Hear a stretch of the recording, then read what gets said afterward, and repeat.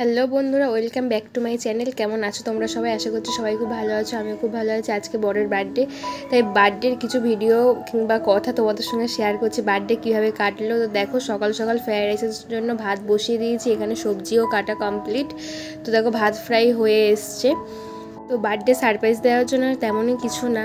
Just সামান্য cake টেকে রাত বারোটার পরে দেবো কেক গোলাপ চকলেট তো তাও বর খুশি হয়নি। তো রাগ রাগ ভাব যে কি এসব করার কি দরকার? হ্যান ত্যান, কত কি কথা। তো আমাদের বাবা সারপ্রাইজ দিলে তো আমরা তো খুব খুশি হই। দেখেও না দেখার ভান করি যে লাস্ট পর্যন্ত কি হয়, কীভাবে আমাকে সারপ্রাইজ দেয়, দেখি কি হয়।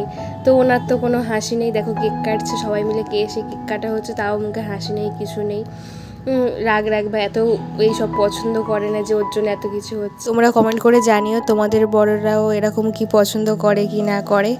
তো দেখো এই সামান্য কিছু খাবার অফিস যাওয়ার আগে ফ্রায়েড রাইস চিকেন কষা, তাও খেয়ে একটু খুশি খুশি ভাব। তো চলো, এখানেই ব্লগ শেষ করছি।